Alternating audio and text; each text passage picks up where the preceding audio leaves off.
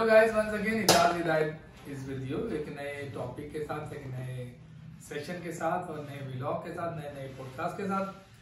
आज हमारे दरमियान हम खुशकिस्मत हैं कि हमारे पास एक नई फ़ील्ड जिसको हम एक्सप्लोर करने जा रहे हैं दैट इज़ फ्लेबॉटमिस्ट तो we are lucky here in Karachi हमारे दरमियान हमारे साथ हैं जनाब रियाज हिदायत साहब, जिनका काफ़ी वसी तजर्बा है एज ए फिल्बॉटमिस्ट या खान यूनिवर्सिटी हॉस्पिटल से मुंसलिक हैं। तो रियाज भाई क्या हाल है आपके? मैं ठीक ठाक शुक्रिया आपका। क्या आपने मुझे मौका दिया? कि आज मैं ये फिल्बॉटमिस्ट के एक फ़ील्ड के हवाले से आपसे बात कर सकूँ? आपका आपके चैनल के तमाम फॉलोअर्स का बहुत बहुत शुक्रिया। मेरी तरफ़ से सबको सलाम।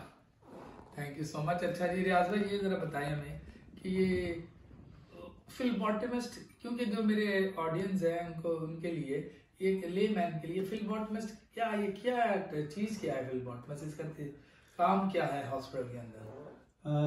फिल्बॉटमिस्ट बेसिकली लैब से ही रिलेटेड काम है। इसमें जो है uh, जिस तरह लैब में लैब टेक्नीशियन होते हैं लैब सुपरवाइजर होता है मैनेजिंग डायरेक्टर सब लैब के होते हैं। इसी हवाले से एक और इसमें काम है फिलेबॉटमिस्ट का। फिलेबॉटमिस्ट बेसिकली जो है आपको जो भी ब्लड जो भी टेस्ट होते हैं आपके उनको प्रिक करते हैं और इसमें उनकी महारत और उनका काम सारा उसमें यानी कि आप सैंपल्स जितना कलेक्ट करते हैं। ब्लड ब्लड सैंपल्स कलेक्शंस जो करने वाले ब्लड बिल्कुल ब्लड कलेक्शन जितनी होती है वो हम लोग करते हैं। खासकर इसमें हम ये देखते हैं कि क्योंकि मैं रिसर्च से रिलेटेड हूँ इसलिए मैं वही बात करूँगा। हमारे पास जो रिसर्च है वो ज़ीरो टू फाइव ईयर के बच्चों तक के है। ठीक है। तो इसमें ज़ाहिर है ज़ीरो डे से जब हम बात करेंगे तो तो आपको किसी को हाँ। एक्सपर्ट बंदे को ही इसके लिए है, हायर किया जाएगा। क्योंकि जब आप प्रिक करेंगे तो आप इतने प्रिक नहीं मारेंगे। जी। आपकी कोशिश इसमें हम, हमारी कोशिश यही होती है कि सबसे पहले हम जितने भी पेशेंट के अटेंडेंट हैं उनको जो है ना मोटिवेशन करें उनका ब्रेन वॉश करें कि भाई हम जो काम करने यानी फैमिली एजुकेशन फैमिली उसमें हम उनको पहले से तैयार करते हैं इस काम के लिए कि हम ये करने लगे हैं। और फिर उसमें ज़ाहिर है माँ बाप कोई भी नहीं चाहता मेरे बच्चों को कोई सुई चुभे कोई प्रिक हो तो वो पहले से कहते हैं नहीं नहीं बस थोड़ा सा ही सैंपल लीजिए कभी तजर्बा हुआ कि आपको जैसे आप हैं हम्म। आपकी बात करते हैं कि आपने प्रिक किया ब्लड नहीं मिला दोबारा प्रिक करना पड़ा तीसरा प्रिक तो कभी माँ बाप का जो रिएक्शन आता है अ, ये बात तो होने की बात इसमें मैं एक और बात आपको एडिशनल बताऊँगा कि एक दफ़ा मैं प्रिक कर रहा था और हालाँकि हमने मदर की काउंसलिंग बहुत अच्छी की थी लेकिन मदर फिर भी थोड़ी सी ना मुझे क्योंकि मैं मैंने ऑब्ज़र्व किया कि मदर जो है ना अभी तक अपने आप को नहीं नहीं सेटिस्फाइड कि नहीं थी कि मैं बस वो ये कहती बस हल्का सा टच करके उसमें फ़ोन ले लें जितना भी लेना है बाकी। हाँ। तो जबकि हमारे इस प्रोजेक्ट में अ, कम से कम हमें four M L blood required था। और अगर उसमें कम भी हो तो टू तो हम लेकिन अ, हम सारे अपनी पूरी टीम के साथ वहाँ मौजूद थे मैं भी और मैं जब मैं, मैंने जब उसको प्रिक किया तो मेरे साथ जो बाकी टीम लीडर थी वो कह रहे हैं वो उसके अपने किसी काम में बिज़ी हो गई। मगर ऐसे झपटी है जैसे वो चील ने झपटती गोश्त के ऊपर उसने मेरा हाथ पकड़ा और ऐसे ही खींच लिया। मेरे और बच्चे मेरे बच्चे बस बस बस बहुत हो गया मेरा बच्चा बहुत हो गया। हालाँकि जस्ट अभी हमने उसका 0.5 पॉइंट ही ब्लड लिया था। लिहाजा आप तो खुद भी एक वालिद हैं तो सावधान आप जब प्रिक करेंगे तो आपको भी साथ है कि मेरे बच्चे को कैसी दर्द होती है लेकिन वैसे पेरेंट्स का बच्चों के साथ एक रिलेशन होता है तो वो तो एक है फैक्टर तो है हम्म। लेकिन एज ए प्रोफेशनल आपको तो ये काम करना है वो बच्चे की बेहतरी के लिए आप करना बिल्कुल बिल्कुल ये तो सारा बताना पड़ता है कि हम जो ब्लड ले रहे हैं वो किस चीज़ के लिए ले रहे हैं कितना लेंगे और हमारी वैसे तो कोशिश ये होती है कि हम पेशेंट को ये बताएँ ना कि हमने कितना लेना है। बस उनको यही बोलते हैं कि एक चम्मच आधे चम्मच के बराबर लेंगे।